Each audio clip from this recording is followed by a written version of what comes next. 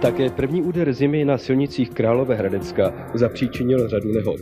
Při této zemřela spolujezdkyně z tohoto Wartburgu s poznávací značkou okresu Trutnov.